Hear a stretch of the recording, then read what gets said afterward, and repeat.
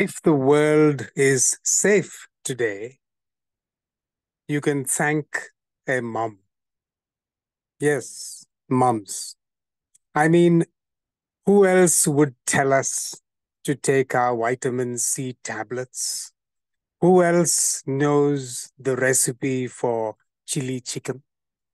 Who else thinks that it's necessary to put mayonnaise in the fridge?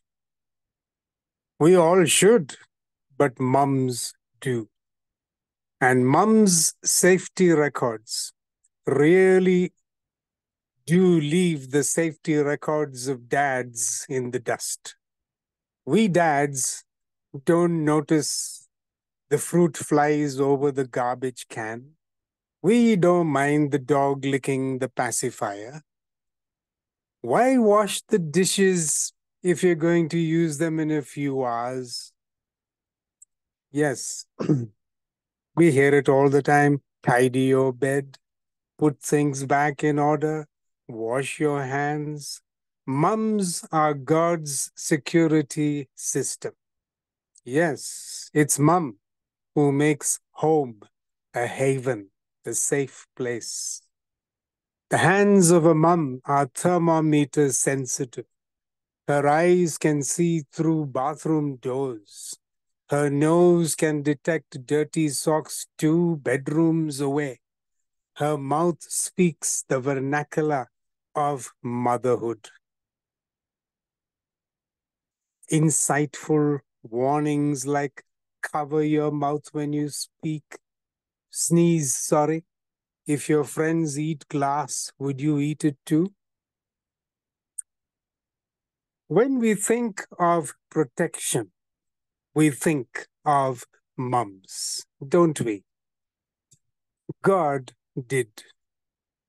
Eight centuries before the birth of Jesus, the children of Israel living in Jerusalem were under attack.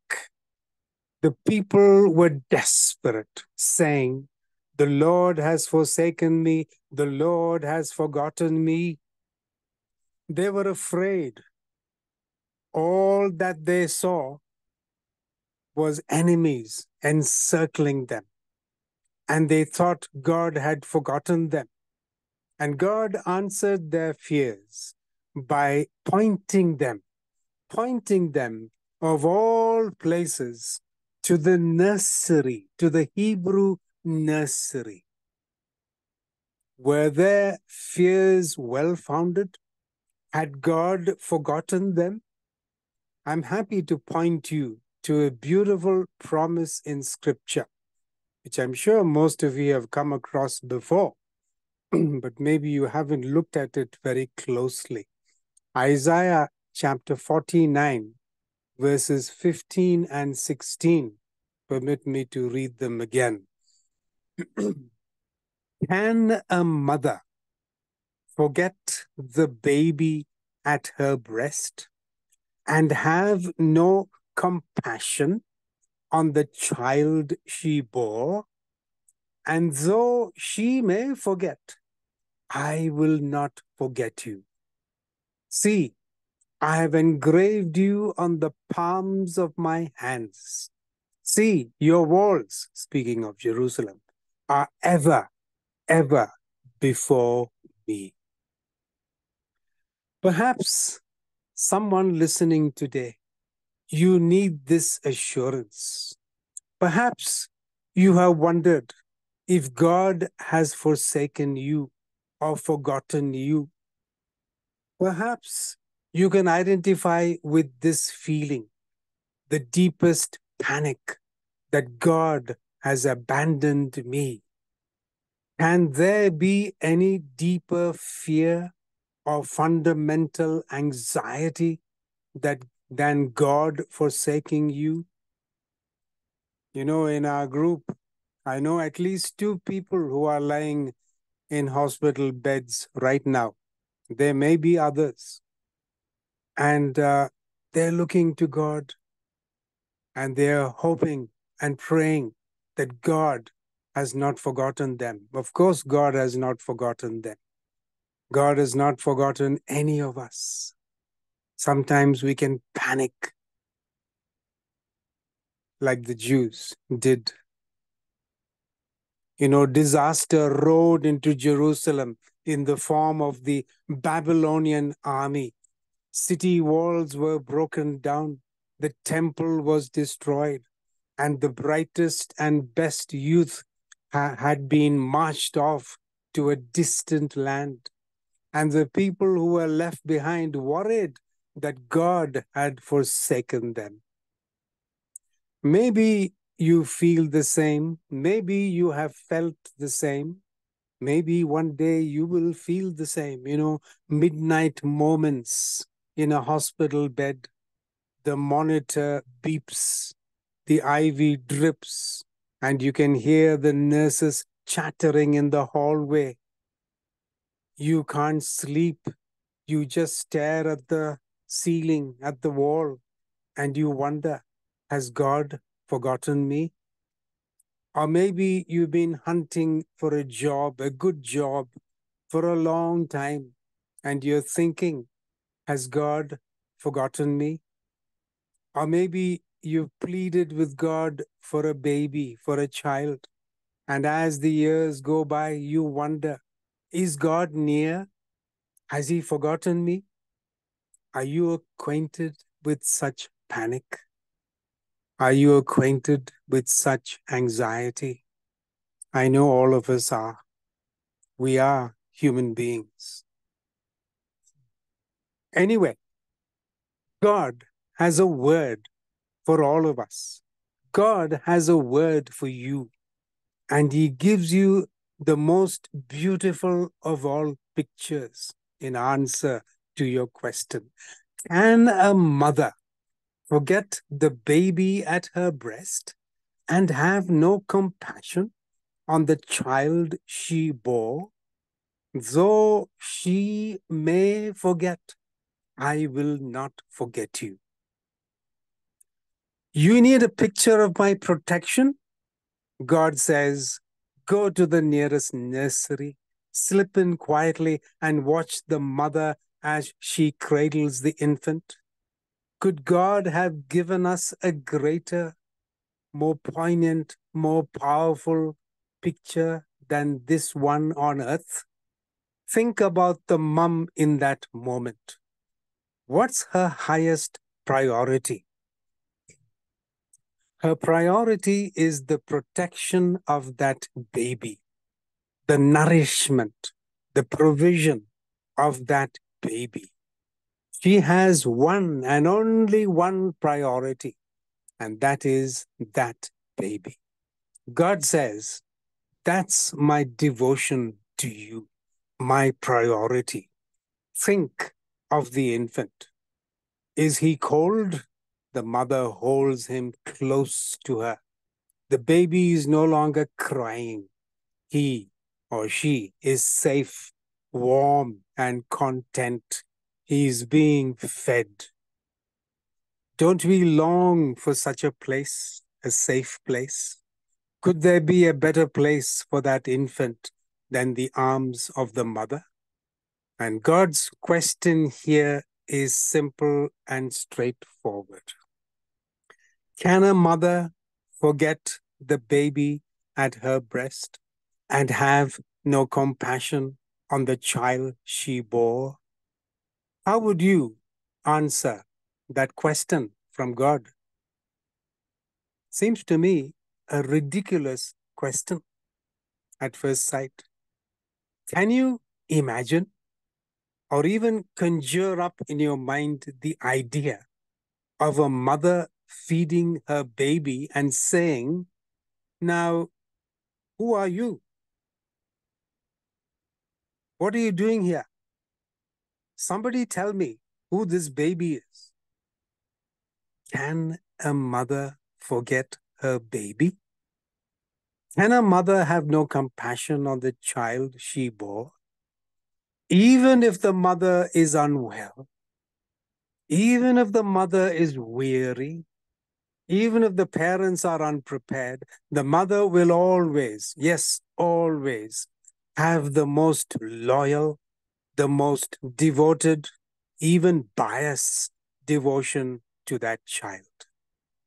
Can a mother have no compassion? Never. But God says, even in some unimaginable circumstances, the mother forgot the child or had no compassion, then God says, though she may forget, I will not forget you. My brother, my sister, will you receive this word even as you are listening right now? God has not forgotten you. He never, ever will.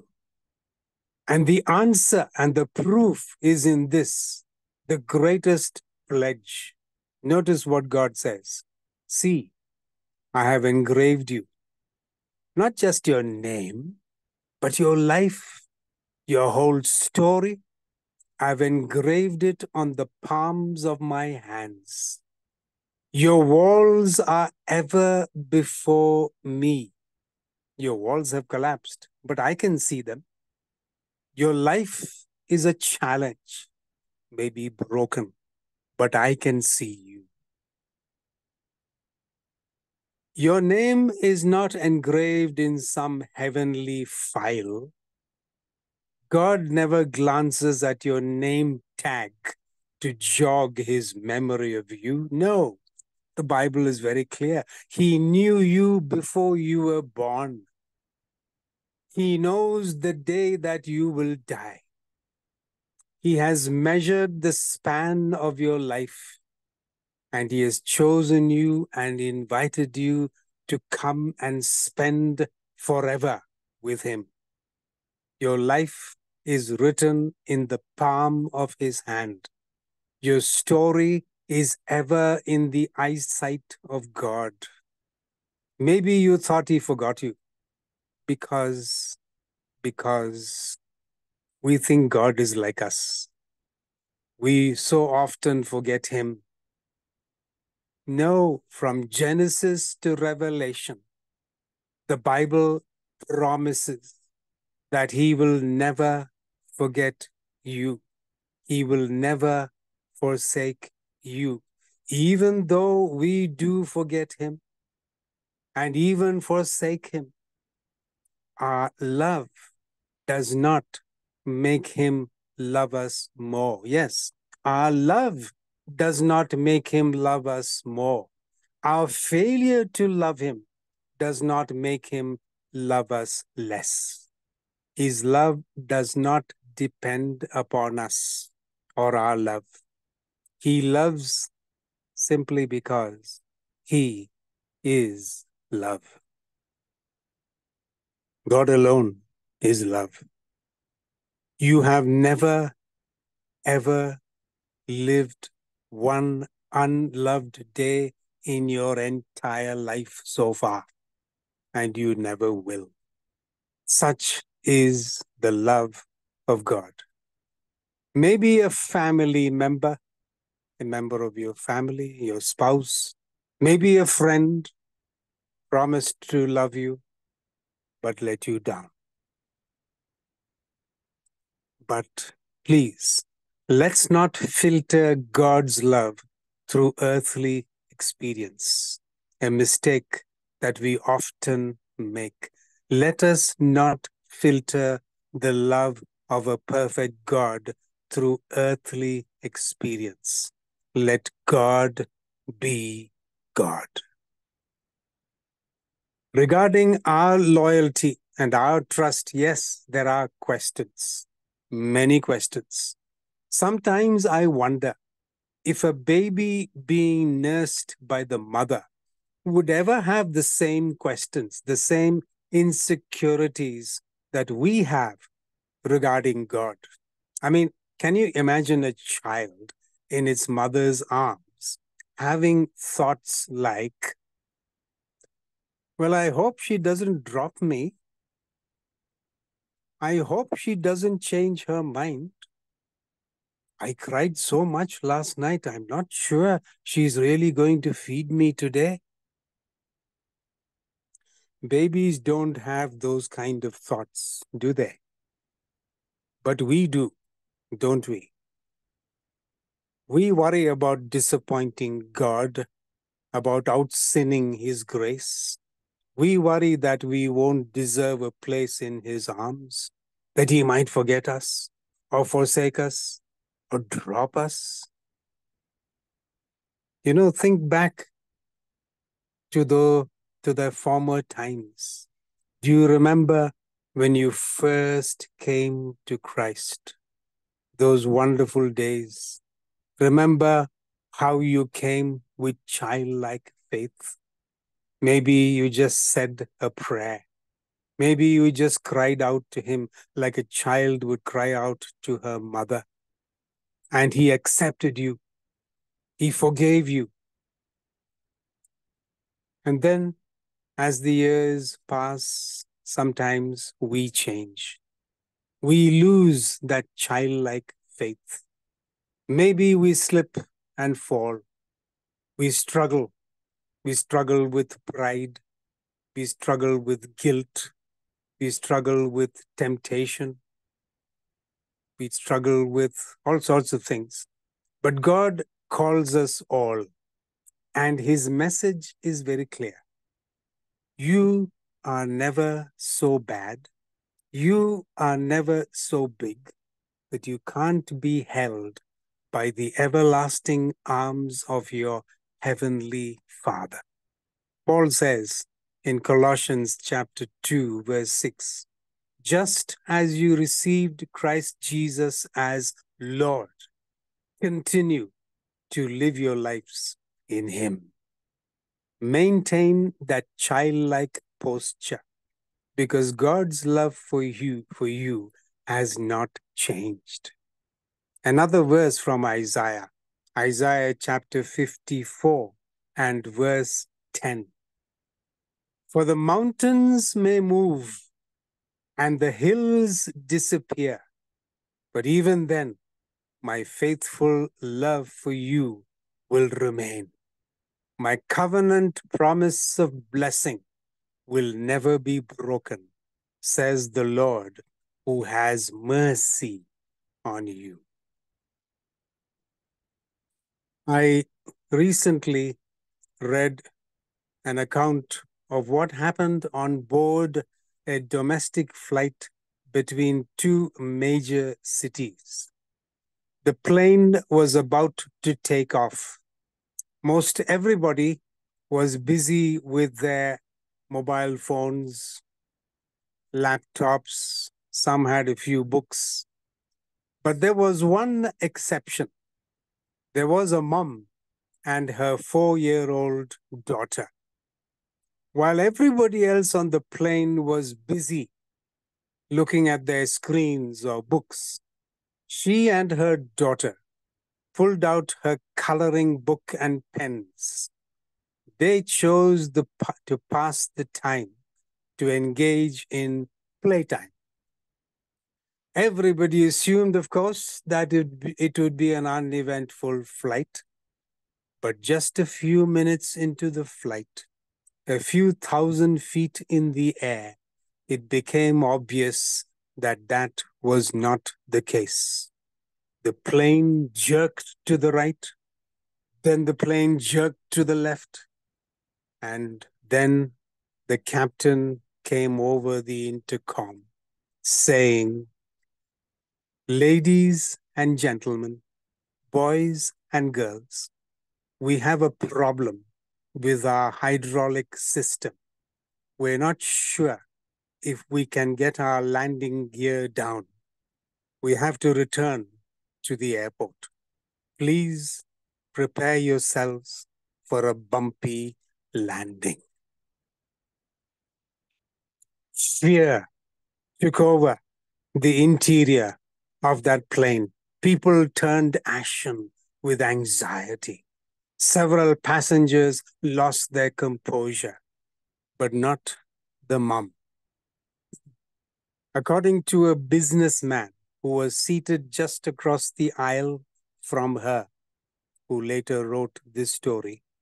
He overheard the mother's voice, a calm, reassuring mother's voice, as she turned to the four year old and said, You know, you are my special girl.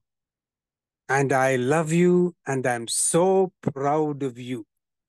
You know that, right? Yes, mummy, said the girl.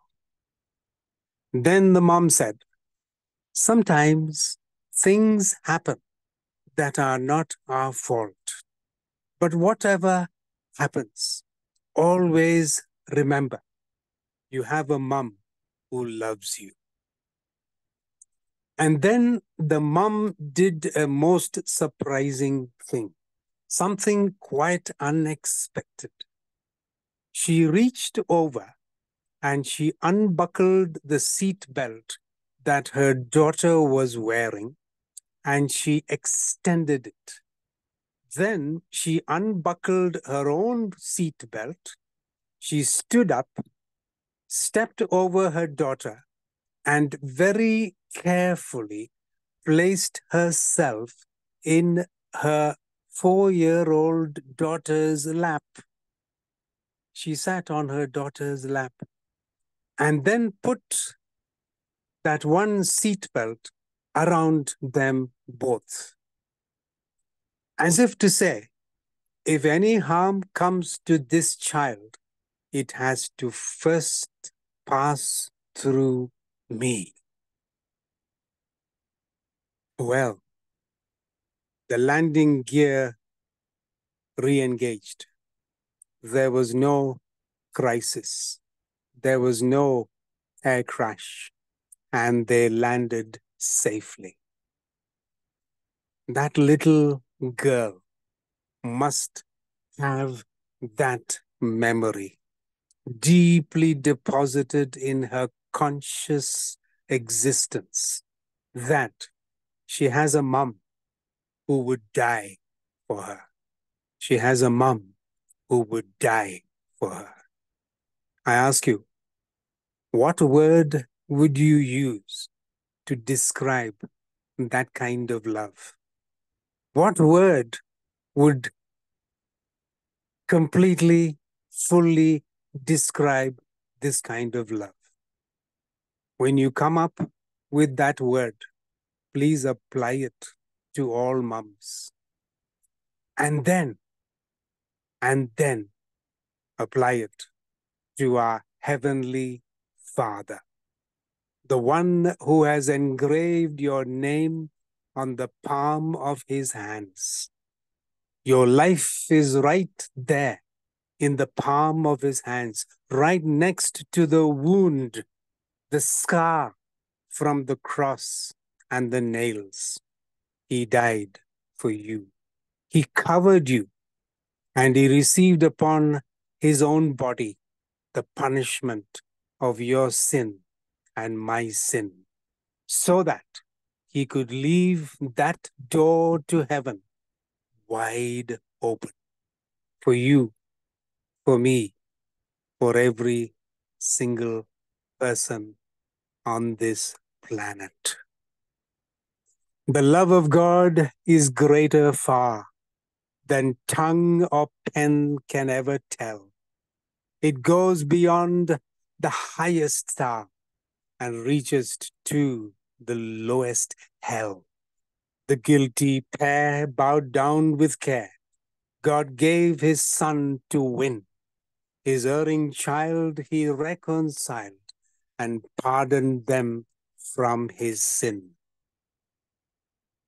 The love of God, the love of God. Most amazing, most remarkable. Let's respond to the love of God. Amen.